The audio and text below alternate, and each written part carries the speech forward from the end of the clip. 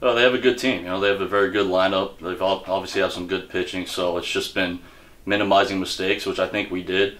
Um, you know, and then just coming through when we need it. You know, the big hit, the big pitch. You know, I thought we did that today.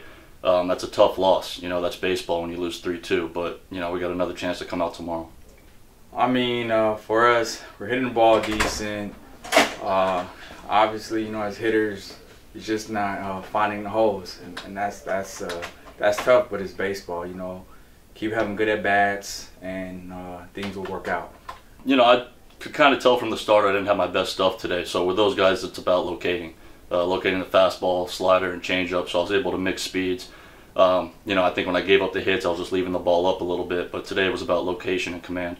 Oh, he, you know, changes speeds, locates. He does everything you need um, to do. Um, he uh, he holds the running game really good. So you know, um, uh, he's to come out there and he's to do his thing. So you know, we really wanted to uh, get the victory for him, and you know, and, and you know, you know, to get the dub. So that, that was tough. You know, falling short.